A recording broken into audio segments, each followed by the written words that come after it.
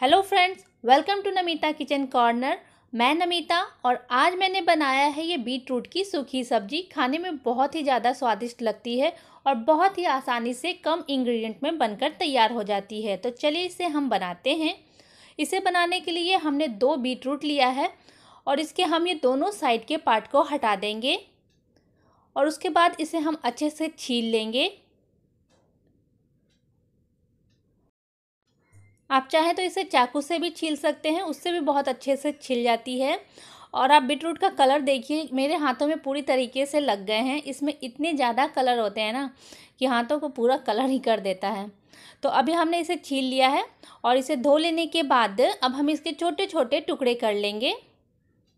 ये देखिए, इस तरीके से हम काट के पतले पतले स्ट्रिप बनाएँगे, उसके बाद हम इसे काटेंगे।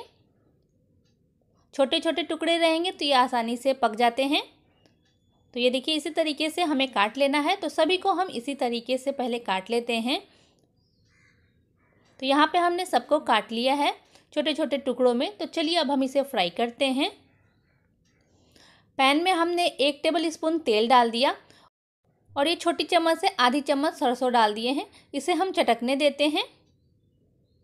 और अब हम डालेंगे इसमें चना दाल। ये चना दाल दो छोटे चम्मच हैं। इसे हम आधा एक मिनट तक सौटे कर लेंगे। और उसके बाद हम इसमें प्याज डालेंगे। प्याज मैंने बड़े साइज़ का लिया है। ये देखिए, इस तरीके से काट के लिया है।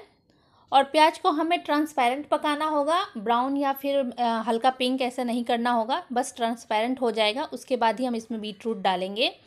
उससे पहले हम इसमें डाल देते हैं हरी मिर्च और कड़ी पत्ता। थोड़ा सा कड़ी पत्ता डाल दिया।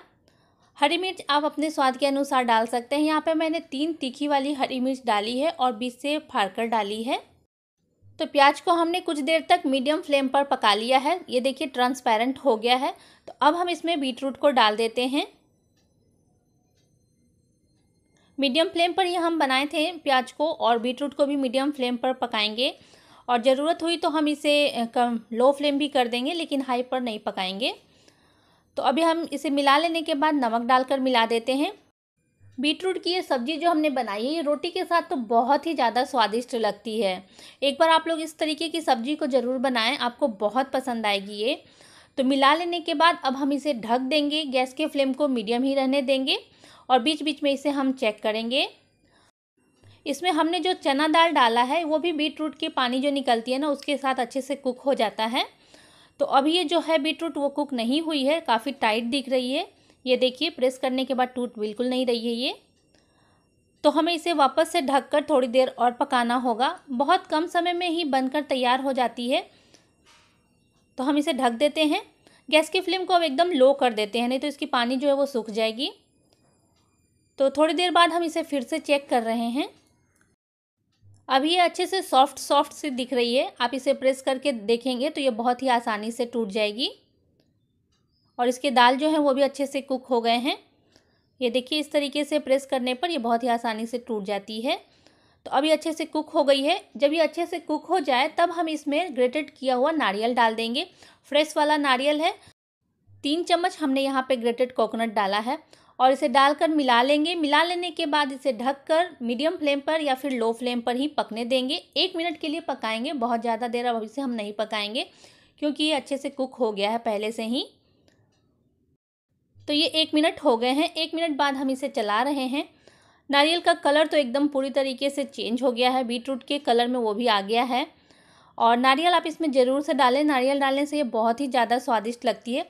वैसे नहीं है नारियल तो आप बिना नारियल के भी बना सकते हैं।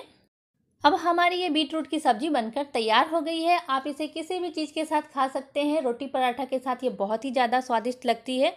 सो फ्रेंड्स, रेसिपी अगर आपको अच्छी लगी है तो रेसिपी को लाइक, शेयर और कमेंट करें। चैनल को भी सब्सक्राइब करें। मैं मिलती हूँ आपसे अपने नेक्स्ट वीडियो में। तब तक के लिए बाय